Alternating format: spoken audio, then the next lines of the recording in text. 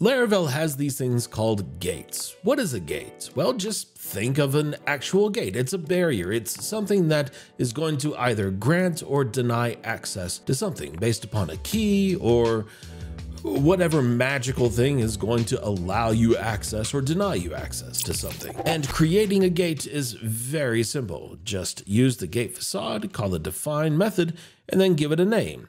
Uh, typically, we want to use something along the lines of an action, but really it's arbitrary. It doesn't matter what we call it. But the beautiful thing about a gate is that it is dynamic. A user will either be granted or denied access based upon the return value of this closure. So I want to check if the user is an admin or if they are an author because I don't want just anyone to be able to manage articles. I want only these two types of users. And with this gate defined, I can use it anywhere within the application. Of course, it makes sense to use it inside of our controllers, which I can just call the authorize method and use the name of our gate. But of course, in reality, I would want to do this on a grander scale, on all of the routes for our articles, in which case I can use this gate as middleware all I have to say is can manage articles. And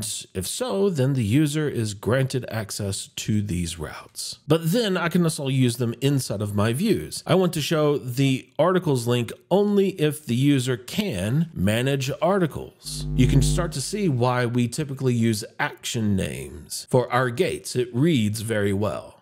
So if the user can manage articles, then they will see the articles link. Otherwise, the user has no idea that link exists. Gates are easy to create, they're easy to use, and you can use them anywhere within your application. It really doesn't get any simpler than that.